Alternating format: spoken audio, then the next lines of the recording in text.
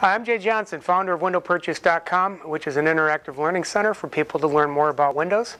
Presently 79 videos up, but over the next 30 to 60 days you'll find over 100 videos on that website, which is why I'm shooting new ones now.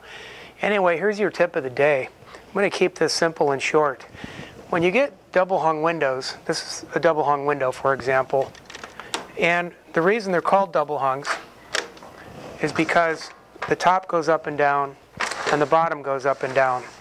But they also both tilt in for cleaning, which is the appeal to double hung windows. And I will tell you straight away that some brands go up and down and tilt in for cleaning a lot easier than others. Just because you think they're both going to do the same thing doesn't mean they do the same thing as easily. This just has to do with the proper way to tilt them in.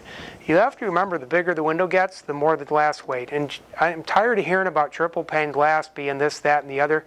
Triple pane glass is awesome. It does have some limitations on sizes, but it has to be pretty darn big, like 25 square feet. So whether this is double pane or triple pane, here's how I would tilt this window in to be safe about it. Notice my hands are in both corners, and I'm lowering it from both corners. When I pull this down, I'm lowering it from both corners. This keeps the window from twisting out. When I put it back up, I'm going with both corners and from going from both corners. This keeps it from possibly twisting or flipping out of the frame. Where a lot of clients get into problems with this is they kind of hot dog it.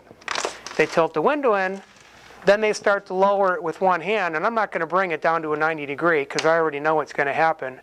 But if you pull it down to about here, and you're only supporting it in one corner, this side, if I'm holding it on the right, this side could flip up and out, and unless I know how to put this sash back in, if it's still in one piece and the glass hasn't broke, you're not going to be able to put it back in.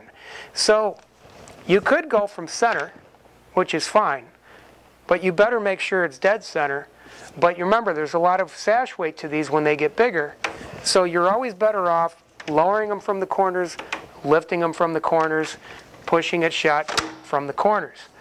That's the tip of the day. It's amazing how many clients don't know how to operate a double hung window or they get into trouble when they go to clean them for the first time and they don't understand the laws of physics or the simple principles that keep you from getting hurt or damaging the window.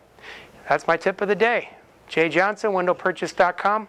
If you like my videos, please subscribe to my channel. Thank you so much.